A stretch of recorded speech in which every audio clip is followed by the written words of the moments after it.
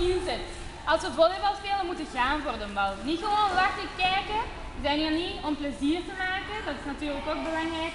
Maar ik moet ook gaan voor de bal, ik zie er niks inzet. Volgende keer moeten we gaan voor de bal, anders gaan we lopen. Oké? Zet u maar terug klaar?